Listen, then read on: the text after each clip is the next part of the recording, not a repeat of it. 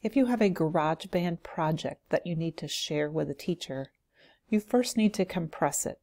Let's see how we do that.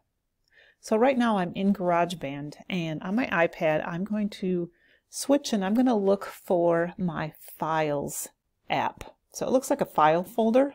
I'm going to look for that and select it to open it up. In the files, you want to make sure that on the left hand side you look for On My iPad and you tap that. In the On My iPad, you should see a GarageBand for iOS folder. You're going to tap that, and you're going to see your GarageBand project that you have. So to compress it, we're going to take our finger and do a press and hold on this file. And when we do, a menu is going to appear, and you're going to look for compress way down on the bottom. So you can tap compress, and it's going to make a zip file, which basically is compressing that so that it is easier for someone else to receive. Now you need to get this zip file to your teacher.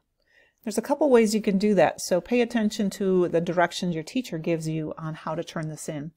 So what I'm going to do is I'm going to press and hold on this zip file and I'm going to see share at the bottom so I'm going to press share and one option is the teacher might have you email it to him or her that would be one option. Or if I scroll over, you can see that there's Google Classroom.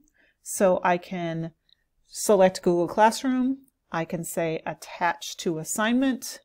I can find the assignment that it belongs with, and then it's going to upload it.